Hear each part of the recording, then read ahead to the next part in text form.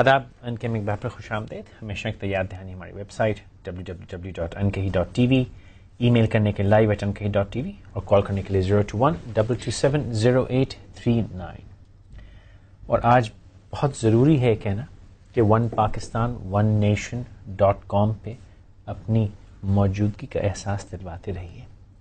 क्योंकि अगर आप ख़बरों में इधर उधर देखें तो आप महसूस कर सकेंगे कि शायद कोई हम में, हमारे दिलों में मैल लाना चाहता है।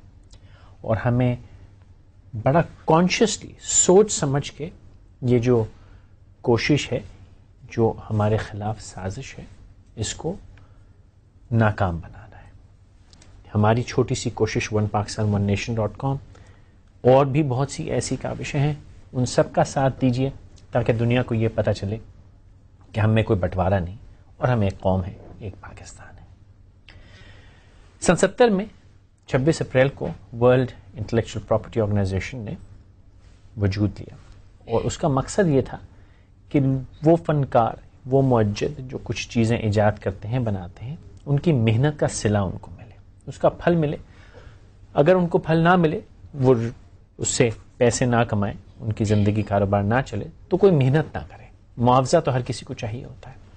तो उसकी प्रोटेक्शन के लिए ये ऑर्गेनाइजेशन कायम पे सन 2000 में उन्होंने जिस तरह बाकी और दिन होते हैं, जैसे कल हम इंटरनेशनल बुक डे की बात कर रहे थे उन्होंने इंटेलेक्चुअल प्रॉपर्टी राइट्स का डे मनाने की बात सोची और वही 26 अप्रैल का दिन उसके लिए चुना गया।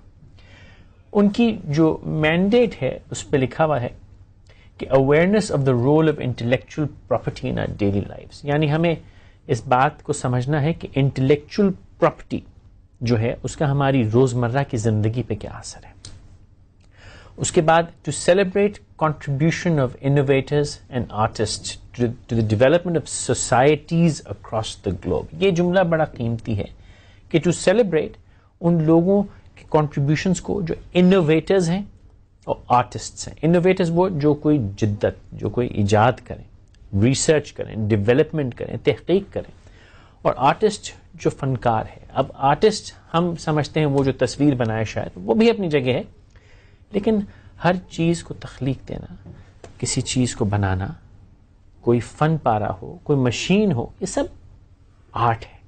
और वो आर्टिस्ट जो उसको बनाता है, उसको उसकी कदर चाहिए। लेकिन उन्होंने कहा कि इन दोनों का जो रोल है in the development of societies ये बड़ा कीमती जुमला है कि अगर रिसर्च ना हो डेवलपमेंट ना हो, ईजाद ना हो तो सोसाइटीज़ डेवलप ना करें। हम अभी वो जो पत्थर जिससे इंसान ने एक ज़माने में उसको औज़ार की तरह इस्तेमाल किया, वो भी डेवलपमेंट थी, ईजाद थी। ब्रॉन्ज एज आई आयरन एज आई स्टोन एज आई, वो भी ईजाद थी। उस वक्त भी उसका मुआवजा था जिसने पत्थर से तोड़ना सीख लिया। उसने किसी न किसी मुआवजे की खातिर वो हुनर सिखाया। आग को हमने काबू किया। इसी तरह बढ़ते गए और आज कंप्यूटर्स हैं सॉफ्टवेयर है टेक्नोलॉजी है। ये सारी चीज़ें, ये टेलीविज़न है, ये कंटेंट है, ये जो हम आपसे बात कर रहे हैं, ये सबकी एक कॉस्ट है। जो मैं बात कह रहा हूँ, ये मेरे अल्फाज हैं। इन अल्फाज की एक कदर है। इन अल्फाज की एक कीमत है। अगर हमें इसकी प्रोटेक्शन ना मिले तो ये कारोबार जो सारा चल रहा है, ये ना चल सके।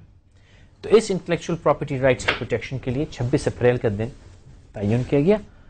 26 को हमारी छुट्टी है एतवार की वजह से वैसे भी समा लाइव हो रहा होगा। पीएफ म्यूज़ियम कराची में, इंशाल्लाह तो कल और परसों वहाँ हो सकता है। आप लोगों से मुलाकात हो, अगर आप आएँ और ज़रूर आएँ, क्योंकि लाइव हमारे शोज़ भी चलते रहेंगे वहाँ से। लेकिन हमने सोचा कि ये मौजू इतना ज़रूरी है कि इसको आज लेके बैठा जाए और बात की जाए। जब कोई फड्डा फसूड़ी होती है, झगड़ा होता है, मेरी कोई चीज़ कोई आप चुरा कर ले आते हैं तो मुझे एक वकील की ज़रूरत पड़ती है। और करीमुल्ला अदेनी साहब जो हैं, वो इंटेलेक्चुअल प्रॉपर्टी कॉपी राइट्स इस किस्म के कवानीन की वो पैरवी करते हैं, अगर झगड़ा हो जाए। तो करीमुल्ला अदेनी साहब हमारे साथ मौजूद हैं करीमुल्ला अदेनी साहब, और तारिक तारिक रंगून वाला साहब भी मौजूद हैं, लेकिन इससे पहले कि हम उनसे आपको मिलाएँ, एक बहुत मुख्तर सा वक्फा ले लेते हैं, फिर बात को आगे बढ़ाते हैं, हमारे साथ रहिए।